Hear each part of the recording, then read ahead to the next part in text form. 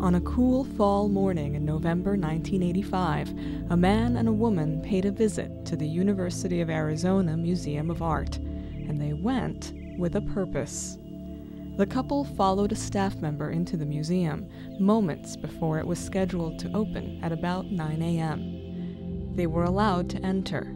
It was, after all, a public art museum that welcomed visitors. The man went upstairs immediately. Uh, the woman intercepted one of the security monitors who was about to go on duty upstairs in the stairwell to discuss a painting that might have been hung in the stairwell at the time. As the registrar at the museum, Kristen Schmidt cares for the collection, everything from packing and shipping of works that travel to ensuring the proper temperature of the galleries. Art is essential to being human. It's essential to every part of our life. And so when such a notorious act happens in your backyard, it's, it's unbelievable. It's almost, you know, just too incredible. What did happen isn't clear, as there were no security cameras at the time, and the guard was distracted by the woman on the stairwell, long enough for the man to move up the stairs and into the gallery, where an abstract painting of a woman hung on the wall. I think that somebody really wanted it. That I think it was a targeted maneuver. While no one who currently works at the museum worked there at the time, the events of that day still echo here it still haunts us 30 years later in all of the decisions that we make regarding the safety of the collection, access to the collection by the public. That painting still haunts us. The permanent collection at the University of Arizona Museum of Art includes around 6,000 works of mostly European and American fine art, from the Renaissance to modern day. It was one painting in the modern art collection that the couple had their eyes on a work by the Dutch American master Willem de Kooning. Willem de Kooning is arguably one of the most important artists of the 20th century. Um, he was born in the Netherlands and he stowed away on a ship and came to the United States in his early 20s. He, along with Jackson Pollock, are really considered the fathers of abstract expressionism. And that arguably is the most significant movement in, in the United States of the 20th century. De Kooning's most celebrated work comes from what is known as his Woman series of paintings, created in the early 1950s, which were, in and of themselves, a departure. Because most abstract expressionists were, were completely abstract. It was about paint on the canvas. There was no story, there was no landscape, there was no figure. And um, all of a sudden, Willem de Kooning, you know, does this exhibit full of these female figures and and people were kind of like, you know, what happened? I thought, I thought we were all doing this abstract thing. So when people say they're not really figures, but they're landscapes, that's true to a certain extent. But they were figures to me. You know, figures maybe in a landscape. So the fact that he returned to the figure when other artists were adamantly abstract, um, that was something that was sort of rogue. And so in that sense, he really stands out. And it was during the creation of his Woman series that Willem de Kooning painted Woman Ochre at his East Village studio in downtown Manhattan.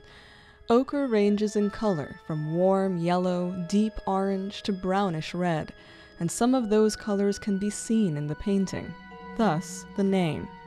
The eyes in Woman Ochre are very large, um, it has sort of a toothy grin, and the face is almost ghoulish. Her, her torso is very triangular, the breasts are very pronounced, and the line work is very aggressive. It's very gestural, lots of quick, thick paint strokes. Woman Ochre was on display in an upstairs gallery at the museum when the couple in question put their plan into action. Witnesses describe them as a white man and woman, he in his 20s and she about 50. The glasses, scarf, and mustache suggest they may have been wearing disguises. While the woman distracted the guard in the stairwell, her accomplice went to work.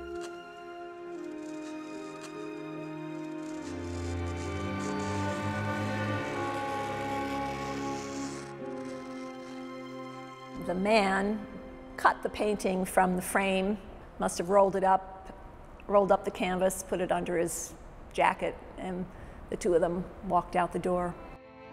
Didn't take very long. It was rather easy. Security probably wasn't at its, at its peak in those years. Dr. Irene Romano is a professor of art history at the University of Arizona. She teaches a course in art plunder that covers ancient looting to modern day museum theft. These works of art go in this black market and for sometimes for long periods of time and get traded for uh, drug sales, arms sales, human trafficking. Art theft is the fourth largest grossing crime in the world after drugs, human trafficking, and arms. I don't know if it ever was hung on somebody's wall or if it's in a bank vault or if it's rolled up and stashed away in a closet. It, it's hard to say with really famous paintings and the amount of press that gets done about them. Um, a lot of times these paintings that were done for hire don't even get displayed, they just get hidden away. Its current value on the legitimate market is hard to know, but another Willem de Kooning painting from the Woman series sold for $137.5 million in 2006, making it one of the most expensive paintings ever sold. Being from a museum and an educational institution, there's no dollar amount we could put on that. It's, um, it's invaluable.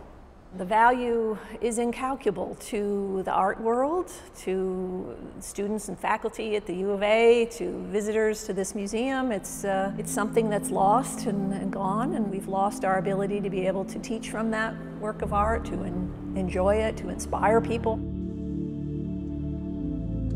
What is certain is that the 30 by 40 inch painting was cut from its frame, rolled up, and stolen the day after Thanksgiving 1985. The thieves were seen driving off in a rust colored sports type vehicle with black louvers in the back window.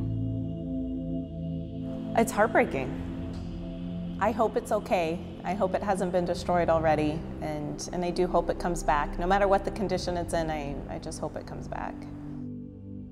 We still have the frame that the painting was cut from, and there are still fragments of this painting uh, at the edges. We kept it to memorialize it, and hopefully one day we can reunite it with the painting that belongs in it. Bringing it home to the university would be a huge celebration. There would be nothing more wonderful than to have this painting back on the walls of the museum and to have students and faculty celebrate its return.